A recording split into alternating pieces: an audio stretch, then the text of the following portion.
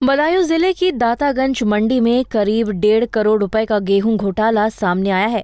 गेहूँ क्रय केंद्र पर गेहूँ की खरीद तो दिखाई गई, लेकिन सरकारी गोदाम तक गेहूँ नहीं पहुँचा। मामला सामने आने के बाद से हड़कम मचा है। जिलाधिकारी ने इस मामले में केंद्र प्रभारी और ठेकेदार समेत चार लोगों के खिलाफ मुकदमा दर्ज कराया है। खरीद होती है एक ठेकेदार नियुक्त होता है और एक केंद्र का प्रभारी होता है। गेहूँ जो खरीदा जाता है फिर वो जो है एफसीआई के गोदाम में भेजा जाता है। और फिर सत्यापन आखिरी जब किया जाता है कि कितना यहाँ से भेजा गया, कितना वहाँ पहुँचा, वहाँ से सत्यापन की रसीद आती है।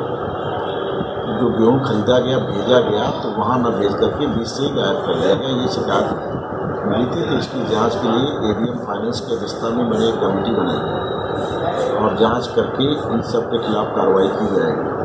एफ़ आई आर दर्ज करा करके इनको सबको जेल भेजने का काम किया जाएगा सर इसके दातागंज के अलावा भी कहीं कोई घटना सामने आई? मंडी समिति में भी जो यहाँ पर था इनका मार्केटिंग वालों का और बिलसी में वहाँ के बारे में भी मुझे शिकायत मिली हमारी कमेटी जाँच कर रही है। इसके साथ ही ज़िले के दूसरे गेहूँ क्रय केंद्रों की जाँच भी कराई जा रही है। जाँच के बाद घोटाले की रकम और बढ़ने की संभावना जताई जा रही है। बदायूं से राहुल सक्सेना की रिपोर्ट पंजाब केसरी टीवी।